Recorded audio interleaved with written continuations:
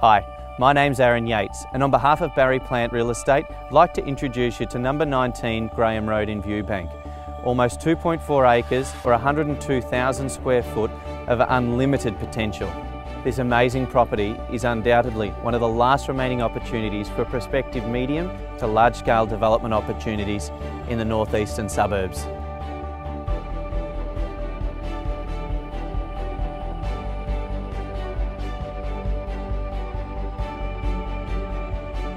The site backs onto Viewbank College, ranked 12th best Victorian public school last year. The school has recently been pledged $11.5 million investment to renovate the school, adding the Performing Arts Centre and further music classrooms. For primary schooling, you've got Banyule Primary School, a mere 750 metres walk from the site, again one of Victoria's top primary schools. Literally at the end of the street, not more than 50 metres from the property, the significant Banyule Flats parklands offer an amazing green belt to explore, as well as a connection to the main Yarra Bike Trail leading straight to the Melbourne CBD. The Rosanna and Heidelberg train stations are easily accessed by the frequent bus timetable that runs past the front of the property.